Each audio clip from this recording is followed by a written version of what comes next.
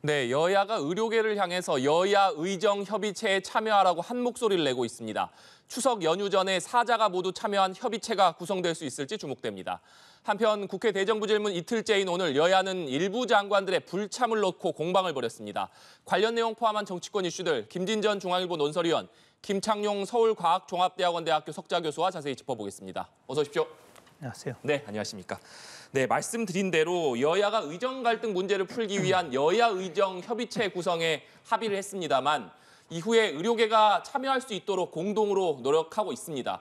그렇지만 아직까지도 의료계에서는 내년도 의대 증원부터 취소하라 이렇게 요구를 하고 있고 완강한 의료계를 어떻게 설득할 수 있을지 여야 간 의견 차도 여전한 상황인데 김준희 의원님 먼저 현재 상황 어떻게 보시는지 궁금하고 그렇다면 추석 연휴 이전에 과연 의료계까지 참여하는 사자 협의체 어, 구성될 수 있을 것인가 그 부분은 어떻게 전망하십니까?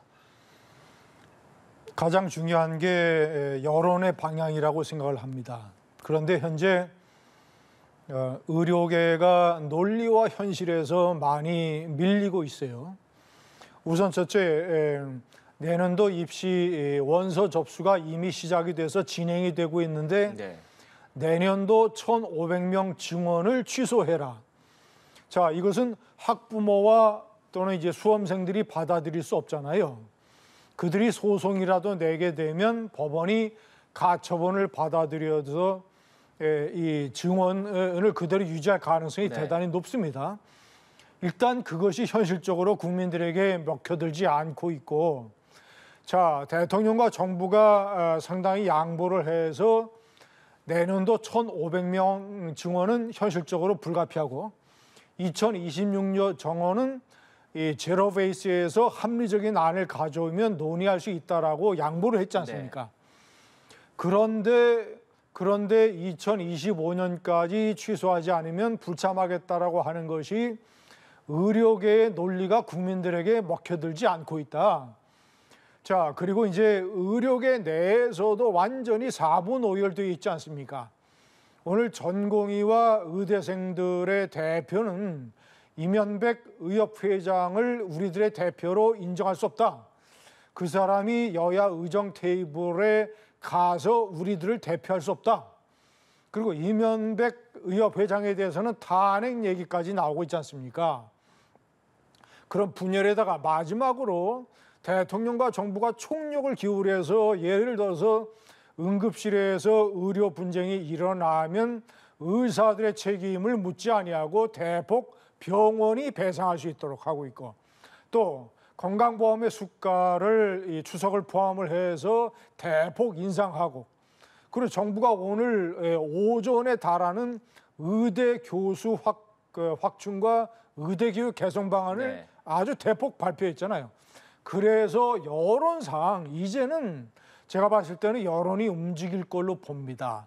의사들이 논리가 너무 부족해요. 자, 그래서 결론적으로 의사 그 의료계에서 계속 목리를 부려서 추석 연휴까지 3일밖에 남지 않았기 때문에 불참할 수도 있겠죠. 그러나 불참하든 뭐 참석이 추석 연휴 이후로 늦춰지든 대세는 저는 이미 저는 의료계의 불리하게 돌아가고 있다고 봅니다. 네. 대세는 이미 의료계에 불리하게 돌아가고 있다 이렇게 분석을 해주셨는데 김창룡 교수님께서는 아, 추석 연휴 이전에라도 의료계가 현재의 입장을 바꿔서 여야 의정 협의체에 참여할 가능성 어떻게 보십니까? 저는 참여할 가능성이 별로 높지 않다고 보고요. 이 저는 이 첫 단추를 잘못 낀 것이 현재 문제를 더욱 꼬이게 만들고 있는데 이 보건복지부 차원에서 이 행정부에서 결정을 내릴 때 의대 정원 2천 정원이라는 그런 결정을 내릴 때 네. 이해 당사자와 관련 협회라든가 충분한 의견 수렴을 해서 결론이 나왔어야 되는데 그 당시 충분한 의견 수렴이 제대로 되지 않은 상태에서 일방적으로 정부가 발표하고 난 뒤에 지금 당정 간에도 대통령실하고 한동훈 당대표하고도 지금 입장이 다르지 않습니까? 당정 간에도 문제가 이렇게 봉합되지 않고 있는데 여기에 야당과 의협까지 끌어들이면 이것이 서로 만들어진다 하더라도 여기서 어떤 절충안을 내기가 지금 현재는 상당히 까- 어렵게 돼 있어서 정치는 타이밍인데 이 순서상 너무 거꾸로 해서 지금 누군가는 희생양을 필요로 하는 그래서 정부가 지금 파격적인 그런 어떻게 보면 수습안을 제시하고 있는데요.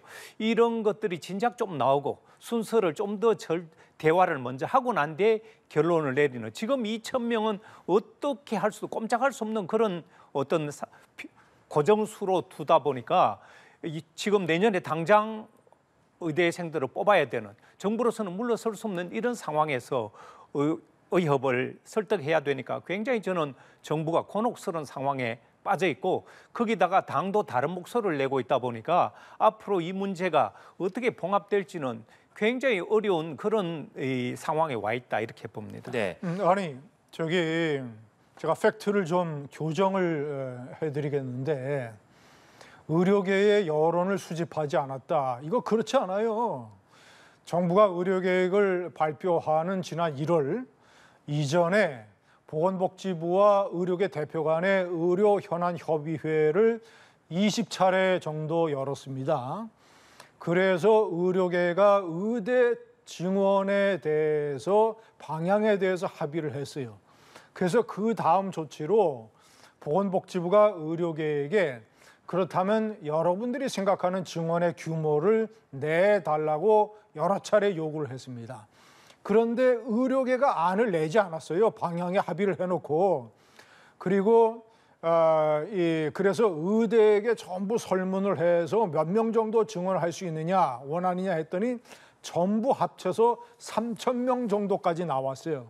그런데 정부가 그것을 이번에 반으로 잘라서 1,500명으로 한 겁니다. 그러니까 의료계의 의견을 수렴하지 않고 정부가 일방적으로 밀어붙였다고 하는 것은 팩트에 틀리고 의료계의 일방적인 어떤 자신들의 주장에 넘어가는 겁니다. 정부가 20차례 회의를 했어요. 거기에 대해서 네. 조금만 보완을 하자면 그런 대화를 나눴지만 2천 명의 어느 정 어느 합의가 없었고요. 그리고 야당도 점진적으로 어, 정원한다는 그 방향에는 동의를 했습니다. 그런데 일방적으로 2천 명을 발표했다는 것이고 거기에 대한 동의 여부 이런 것이 없었다는 것이죠. 네. 어, 민주당에서는 의료계에 참여할 명분을 주기 위해서 보건복지부 장관 그리고 제2차관을 경질해야 한다 이렇게 요구를 하고 있습니다. 어, 여당 내에서는 곽규택 수석 대변인이 어, 만약에 의료계가 여야 의정 협의체에 들어온다면 박민수 2차관 경질 문제에 대해서 논의해 볼 수 있다 이런 입장을 밝혔습니다만 추경호 원내대표는 인사 조치를 거론하기에는 적절치 않은 상황이다 이렇게 선을 그었습니다. 지금 민주당에서 계속해서 인사 조치를 요구하고 있습니다만 여당 내에서는 의견이 다소 엇갈리는 것 같습니다. 어떻게 해석하십니까? 여당 내의 일부 중진 나경원 의원이라든가 그리고 에, 초선 김재섭 의원이라든가 이런 사람들 일부에서 경질론을 주장을 하는 것은 대단히 잘못된 겁니다. 여당이 저런 식으로 봉숭아 학당처럼 행동을 해서는 안 돼요. 왜냐? 조규영 어, 장관은 기획재정부 출신의 정통 경제관료입니다. 그래서 일차관을 맡고 있고 박민수 차관은 정통 보건복지부에서 뼈가 굵은 관료입니다. 그래서 그 사람이 이 차관을 맡고 있고 의료 개혁을 실무적으로 총괄을 하고 있고 중앙재난안전대책본부의 실무본부장을 맡고 있어요. 그리고 한두 가지의 논란이 되는 뭐 말실수가 있었지만 그것은 작은 것이고 커다랗게 줄기로 보자면 어, 아까 제가 에, 의료개혁 에, 저 숫자 발표하게 된 경위를 자세하게 말씀을 드렸는데 그 과정에서 대단히 치밀하게 연구기관과 협의를 해서 안을 내놨고 그리고 이, 자, 윤석열 정부에서 성공적으로 이루었던 개혁들 예를 들자면 이 건설 노조의 폭력 사태를 합법적으로 이 봉쇄하고 해결한 것 그리고 화물연대의 불법 파업을 단호하게 단호하게 봉쇄한 것. 자, 그리고 연금 개혁안을 국회에 내놓은 것. 그리고 사교육 카르텔의 방해에도 불구하고 늘범교이라고 하는 교육 개혁을 완성시키는 것. 그리고 이 다섯 번째 개혁인 의료 개혁을 실무적으로 몸을 던져서 열심히 일하는 관료를 저항 세력이 그 사람을 일종의 일종의 볼모로 삼아서 저 사람을 자르지 않으면 우리는 대화에 나서게 나서지 않겠다. 대화에 나서지 않는 이유가 논리적으로 하등 근거가 없음에도 불구하고 자신들이 논리적으로 근거가 없으니까 엄한 꼬투리를 잡아서 저 차관을 자르지 않으면 우리는 대화에 나서겠다고 하지 않는 안 나게 안 나서겠다고 하는 그런 저항 세력의 협박에 대통령과 정부가 에 넘어가서 그 차관을 경질하게 되면 어느 공무원이 앞으로 국가적으로 옳은 개혁에 나서서 팔을 걷어붙이고 자신의 몸을 던지겠습니까? 예? 한번 생각해 보세요. 박민수 차관 자르면 그걸로 의료계가 요구사항을 그칠 것 같아요? 또 제2, 또 제3의 요구사항을 계속 내놓으면서 대통령과 정부를 코도로 밀어붙입니다. 어떤 개혁도 성공한 대통령과 정부는 그런 식의 협박에 넘어가서는 안 되고 여당의 의원들이라는 사람이 그런 식으로 부하 뇌동해서는 안 된다.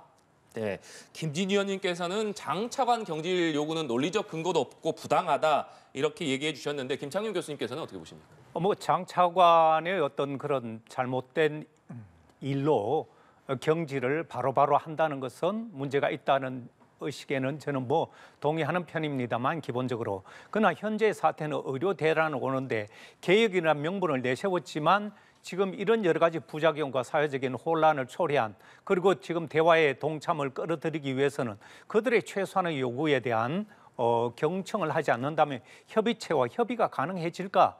말하자면 여당 내에서도 그런 목소리를 내고 있는 것을 지나치게 누를 필요는 없다. 그리고 이 요구가 타당한지 여부를 지금 보면 현실이 의료 대란으로 너무나 많은 그 의료 쪽뿐만 아니라 일반 국민들이 눈물을 흘리고 있는 이런 상황에서 좀 더 어, 내실이 있는 대화를 위해서는 이 문제를 만든 당사자 누군가는 책임을 지는 그런 모습이 신뢰를 회복하는 기본이라면 그런데 경질을 안할 수도 없는 것 아니겠습니까? 저는 그런 부분에 있어서 열어놓고 좀 더 내부에 대화를 해야 된다. 지금 여당 내부도 제대로 대화가 안 되고 있거든요. 그러다 보니까 윤 대통령의 일방적인 행정의 흐름이 지금도 반복되고 있어서 대화와 소통이 부재가 되다 보니까 여러 가지 억척과 논란이 계속 커지고 있다는 것이죠. 네.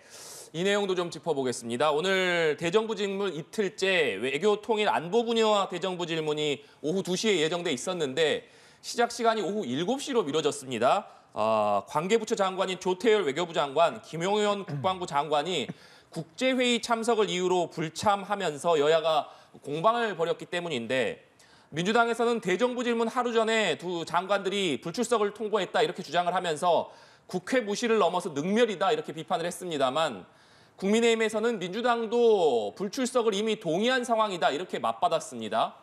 일단 장관들이 출석할 수 있는 오후 7시로 대정부 질문 시간이 미뤄지긴 했습니다만 이 불참 여부를 놓고 여야가 벌인 공방에 대해서 김창윤 교수님께서는 어떻게 보셨습니까? 어, 기본적으로 여야 간의 소통이 부족한 것이죠.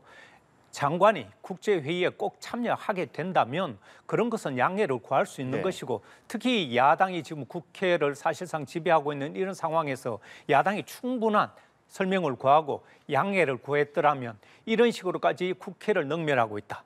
국회를 무시하고 있다. 이런 발언이 나오지 않는데 하- 말하자면 하루 전날 그것도 못 가겠다 이런 식으로 얘기하니까 오히려 이런 어떻게 보면 불필요한 화 그 불협화음을 더 키운 것이 아닌가. 그래서 불참하게 되더라도 충분한 야당의 사전 설명과 양해를 구하는 그런 노력이 부족했다는 것은 여야 간에 지금 소통이 단절돼 있어서 서로 공격과 이런 방어 내지 역공을 하는 이런 모습이 참 국민들 보기에 딱하다 이런 말씀을 드리겠습니다. 네. 아무래도 현재 국회 상황이 좀 반영된 오늘의 일이 아니었나 이렇게 김창윤 교수님께서는 해석해 주셨는데 김진 의원님 어떻게 보셨습니까? 음, 아니 그것도 팩트에 맞지 않아요.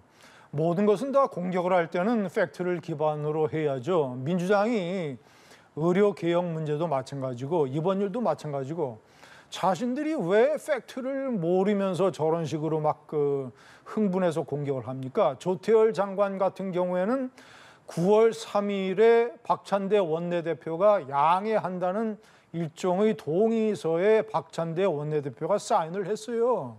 조태열 장관 같은 경우는.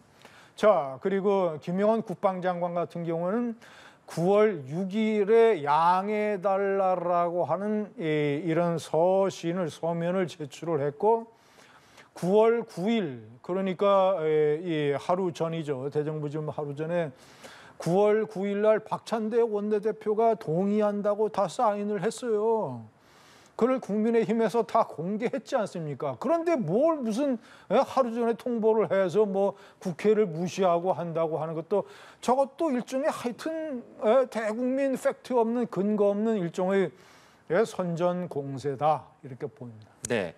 그리고 민주당은 추석 연휴를 앞둔 모레 본회의에서 김건희 여사 특검법 그리고 해병대원 특검법 지역화폐법을 처리하는 방안을 검토를 하고 있습니다. 국민의힘에서는 협치와 대화 분위기에 찬물을 끼얹고 있다. 아, 이렇게 비난을 하면서 강경 대응을 예고를 했는데 민주당이 추석을 앞두고 특검법을 추진하고 나선 배경 또 국민의힘에서는 필리버스터로 대응할 수 있다는 얘기까지 나오고 있습니다만 먼저 민주당에서 이렇게 추석 전 본회의에서 김건희 여사 특검법, 해병 특검법, 지역 화폐법 처리하겠다라고 나선 배경 뭐라고 해석하십니까? 제가 지난번에 네, 말씀을 드렸는데 민주당에서 윤석열 정권에 대해서 삼지창 공격을 하고 있습니다. 탄핵, 특검, 그리고 청문회. 자, 최근에는 이제 계엄령 괴담까지 이 얹어서 사지창 공격을 해대고 있는데 저거 다 추석 때 추석 밥상에 올리려고 하는 일종의 다 선전 공세입니다. 예? 김건희 여사 특검법 지난 국회에서 부결이 되고 아니 저 대통령이 거부권을 행사를 했는데 거기다가 이제 최근에 무슨 뭐 에, 김영선 전 의원과 공천 문제를 협의를 하고 공천에 개입했다 뭐 이런 언론 보도 김영선 전 의원이 컷오프 돼서 아예 뭐 어, 대상도 되지 못했는데 이런 것 이런 것도 뭐 해서 김건희 여사 이번에 통과시킨 특검법에 김건희 여사 혐의 내용이 여덟 개가 나열이 돼 있어요. 전부 다 문재인 정권 대부분 문재인 정권에서 철저하게 2년 가까이 현재 이성윤 의원이 돼 있는 당시 이이 문재인 대통령 정권의 중앙지검장 휘하에서 다 철저하게 수사를 했던 사건들. 도이치모터스 사건, 그다음에 카바나 컨텐츠 사건이라든가 이런 것들 그런 것을 여덟 개를 전부 다 나열을 해서 특검을 하겠다고. 예? 그래서 뭐 저 이 최상병 특검도 마찬가지고요. 전 국, 저번 국회에서 한 번, 이번 국회에서 한 번, 두 번이나 두 번이나 거부권이 행사되고 최종 부결된 그런 법안을 예? 그런 법안을 또 다시 저런 식으로 두 개를 이제 갖다 대서 제가 아까 말씀드린 그 삼지창 공격을 하는데 저는 뭐 이제 추석 연휴를 앞두고 그리고 이재명 대표의 10월 달에 두 개 사건에 대한 선고를 앞두고 그리고 플러스 문재인 대통령 가족에 대한 검찰의 어떤 강도 높은 수사 이런 것에 대한 위기감을 느껴서 야, 이것을 이제 덮고 어, 일종의 맞불 공세라고 생각을 합니다. 네. 김창현 교수님께서는 어떻게 해석하십니까? 뭐 그런 맞불 공세란 전혀 상관없고요. 어, 보시면 22대 국회에서 이미 해병대 특검법을 비롯한 김건희 여사 특검법 이런 것은 굉장히 중점 사항으로 그저- 그전부터도 거부됐다 하더라도 새로운 내용들이 터져 나오고 있고 김건희 여사는 최근에 수사심의위에서 불기소 의견으로 제시했기 때문에 더욱 특검법의 중요성이 가중된 것입니다. 이런 것들을 보강해서 국민들이 보기에 법과 상식 이런 것들이 제대로 지켜지지 않고 있고 해병대 특검법만 하더라도 진실이 나온 게 제대로 없어서 도대체 진실은 무엇이냐 아직까지도 그 부분에 있어서 제대로 된 진실이 나오지 않고 있습니다. 그런데 김건희 여사 특검법 같은 경우는 지금 새로운 내용들 특히 이 공천에도 개입했다라든가 말하자면 이런 국정 문란의 새로운 내용들이 지금 하나둘씩 이미 여권 내부에서 그런 얘기들이 나오고 있기 때문에 이런 것을 특검으로 하지 않을 수 없는 그런 상황으로 가기 때문에 이 문재인 전 대통령의 수사 맞불 이런 것과는 무관하게 이 사안은 앞으로도 계속 야당은 저는 거부되더라도 이 문제는 잡고 늘어질 그럴 가능성이 굉장히 높다. 그래서 이런 사안은 이 우리 국가의 진실과 정의가 무엇인지를 밝히는 차원에서라도 여야를 떠나서 이런 김건희 여사 앞에만 가면 무력해지는 우리나라의 수사기관이라든가 검찰 이런 정의가 어디 갔느냐는 불만, 국민적 불만, 국민들이 이런 데는 수사를 하라는 그런 요구를 야당은 특검법이라는 그런 방식을 통해서 앞으로도 저는 제기할 것으로 봅니다. 네, 알겠습니다. 음, 아니 저기 네. 수사심의위원회라는 것은 자, 이 그 외부의 민간 그러니까 검찰하고 아무런 상관이 없는 이 교수라든가 전직 법조인이라든가 이런 어떤 그런 사람들의 인력 풀에서 무작위로 추첨을 해서 15명을 고르는 거예요. 그런 수사심의위원회에서 불기소 결정을 했는데 아니 그러면 그 수사심의 15명의 민간 아, 위원들이 전부 다 무슨 국민의힘의 당원들이라는 얘기입니까? 아니 제가 한 가지 문제를 제기를 하면 만약에 김정숙 여사 5천만 원 사건, 예? 그리고 문재인 대통령 사위 특혜 취업 의혹 사건 이런 것들을 검찰 수사에 불복을 해서 수사심의위에 넘겼다가 만약에 수사심의위원회에서 불기소하라는 결정이 내려지면 그럼 민주당에서 특검할 거예요? 예? 그 사람들 다 저 국민의힘 아니 그 저 믿을 수 없으니까 수사심의위원회에서 왜 불기소 결정을 내려 기소해야지라고 특검할 겁니까? 수사심의위원회라고 하는 국민들을 설득할 수 있는 마지막 최종 독립된 독립된 기관이에요. 그것마저 결정을 자꾸 무시하고 저런 식으로 선전 공세를 해 대면 그럼 뭐 사건마다 수사심의위원회에서 불기소하면 그것도 특검해야죠. 최재형 목사가 수사심의위원회에 회부가 되는데 만약에 거기 불기소하면 그것도 그러면 특검해야 됩니까? 최재형 특검도? 네. 수- 수사심의위가 만들어지는 취지가 보다 투명성을 높이고 공정한 정의가 실현되도록 그렇게 만들어진 게 있어요. 수사심의위인데요. 지금의 수사위 운영은 도대체 누가 수사심의위에 들어가는지 어떤 사람이 들어가는지 그리고 검찰의 일방적인 주장만 듣는 그런 식으로 운영되다 보니까 수사 심의를 만든 이 법조인조차도 지금은 잘 못됐다고 지적하는 상황입니다. 네, 알겠습니다. 오늘 두 분 말씀 여기까지 듣겠습니다. 지금까지 김진전 중앙일보 논설위원, 김창룡 서울과학종합대학원 대학교 석좌 교수와 얘기 나눠봤습니다. 오늘 말씀 고맙습니다.